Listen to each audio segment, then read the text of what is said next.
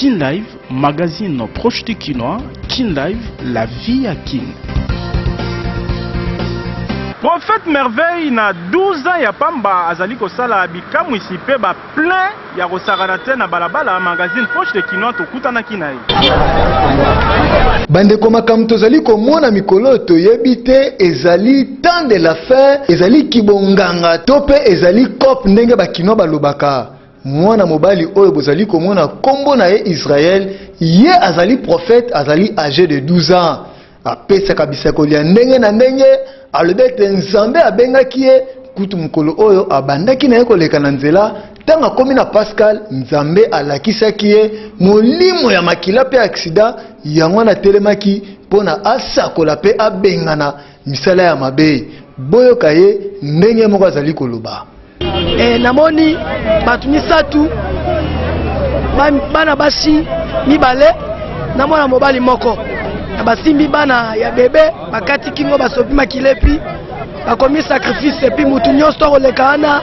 azala sacrifie me kolo ayebisi nga merveille nayokela bango mawa c'est parce que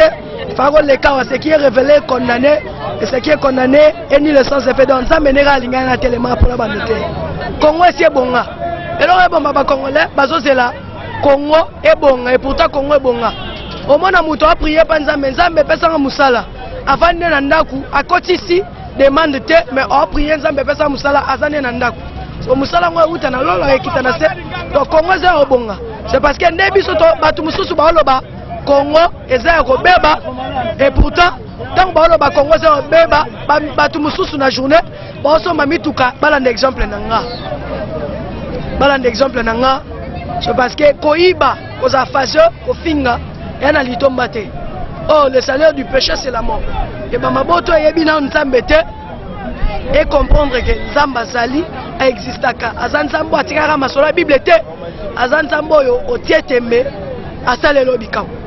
kotala mwana oyo kopesa masakoli na balabala Debat esalamaki bandeko mosusu balobi ya solo ye azali mpenza profete mpo kutu asakola mpo na bango makambo yango ezalaka juste misusu balobi ya kokamwa ezali te mpo komona mwana kosakola ezali kokokisama ya profesi oyo biblia eloba ete na mikolo ya suka molimo na nzambe ekokita meme epai ya bana mike ya bongo mpe asakola mpo na ngai me kosakola sakola mpo na ngai alobaka ngai famille na nga enegligea ngai na ndenge ke batika nga ndenge wana me namoni ke te dona makambo bafamille ndenge eza wana eleka bongo seke prophète oyo asakola nga oyo prophète israel asakola nga oyo donki prophesie oyo eza ya solo yango wana ti lelo mpenza aa mpenza profese mpenza ya profesi mpenza ya solo ndenge asakolaka mpenza nzambe alobaka na bandenge na ye akosalela eloko akosalela nyama akosalela mpe motu ekomama deja ke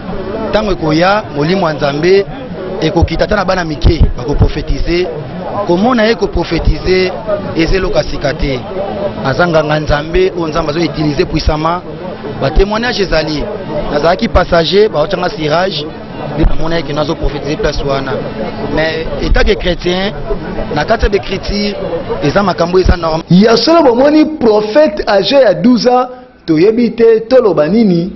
moko na moko ye moko atire leson bisika azali kolanda mbela ya molobeli ya bato